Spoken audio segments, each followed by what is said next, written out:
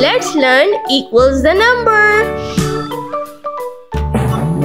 1000 is greater than 800. Now we equal the number by adding 200. So the answer is 1000 is equal to 1000.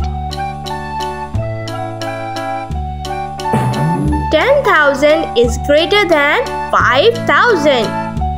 Now what we add to 5,000 to make 10,000? Yes, it is 5,000. Amazing!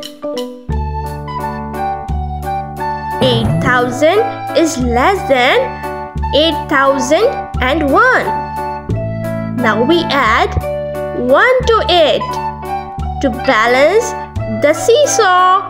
Yes, we did it. 8001 equals 8001.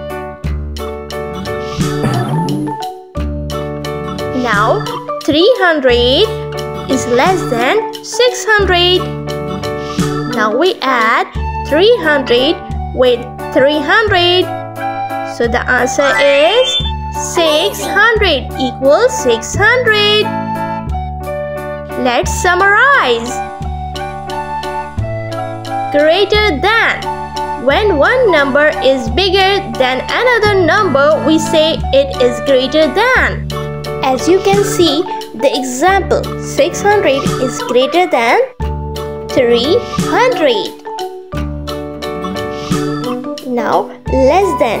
When one number is smaller than another number, we say it is less than. See the example 300 is less than 600. Equal to. When both numbers are the same, we say they are equal to each other. So, there is no need of alligator. Alligators go away. Thanks for watching. Hope you like the video. Bye.